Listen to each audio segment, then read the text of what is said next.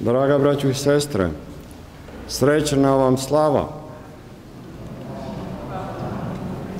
Divno je slaviti ovako čudesan praznik, preobraženje gospodnje na gori Tavoru.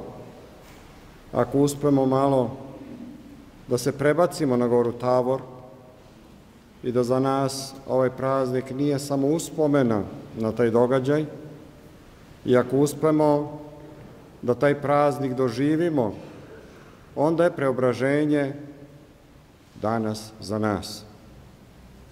A to i jeste cilj našega života, da praznik svaki bude doživljaj za svakoga od nas kao pojedinca i za sve nas zajedno. Gospod se preobrazio na gori Tavoru pred svojim učenicima, Petrom, Jakovom i Jovanom, čuli ste iz Evanđelja. Šta je on tu pokazao? Pokazao je slavu Božiju. Pokazao je nestvarnu svetlost.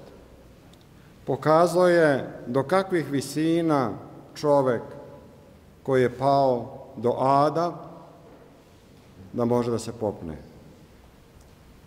U tom momentu preobraženja nestalo je granice između neba i zemlje. Njegovo je lice postalo kao sunce, a haljine kao sneg i pojavio se oblak i glas Božiji u oblaku, glas Oca. Ovo je sin moj, ljubljenji, njega poslušajte. Dakle, sve se sastoji u tome koga mi slušamo, Da li slušamo Sina, to jest Spasitelja, drugo lice Svete Trojice, ili nekog koga ne treba da slušamo? Tu ispitajmo sebe gde smo.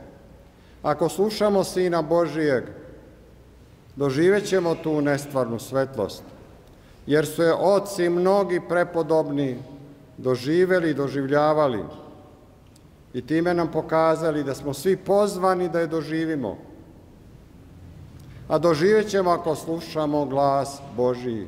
Ovo je sin moj, ljubljeni, njega poslušajte. On je po mojoj volji. To je preobraženje i to je smisao preobraženja. I ne samo da se čovek preobražava i da da doživljava svetlost nestvarnu. Sve se preobražava. I priroda i sve stvoreno. To je značaj ovoga praznika. I zato pokušajmo, kao što rekoh, da se u mislima, u srcu svome preselimo makar kratko na Tavor, na to čudesno brdo, čudesnu goru. Ja sam imao sreće da tri puta doživim upravo Oblak koji se i danas pojavljuje u praskozorje pred svetu liturgiju. I to samo na današnji dan nad pravoslavnim manastirom. I to daje utehe. To nam daje utehu. I ovo je gora Tavor. I neka bude tako. Čim je ova crkva posvećena preobraženju, to je zaista gora Tavor.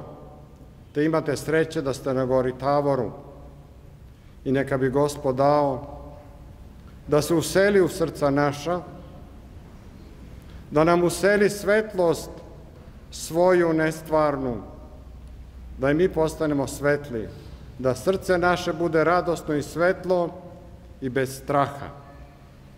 U čijem je srcu Bog, tu nema straha, gospodo i braćo. Strah je posledica greha. I zato smo svi nešto ustrašeni i svega se bojimo. Kaže car David, grešan čovjek boji se i svoje senke. Pa eto, uzdajmo se u gospoda, uzdajmo se u njegovu svetlost i poslušajmo glas očev, Božiji, ovo je sin moj ljubljenji, ne ga poslušajte. Da ga poslušamo i zaista ćemo doživjeti svetlost i doživet ćemo carstvo Božije večno za koje verujem da se vredi truditi.